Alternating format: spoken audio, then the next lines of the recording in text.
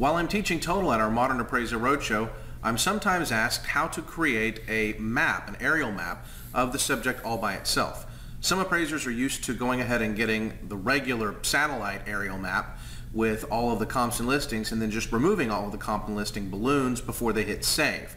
But in Total, a subject-only map is a built-in feature. From the Forms Power View, click the arrows next to Add Map and choose Subject Location Map Only. After the map wizard loads, use your scroll wheel and mouse to position and scale the map to your liking. If your client wants you to refer to this type of subject-only map as an aerial map, simply choose that option from the pull-down. Click Finish. That's all. Total creates a new page in your report with this subject-only map. Try this in Total with your next report.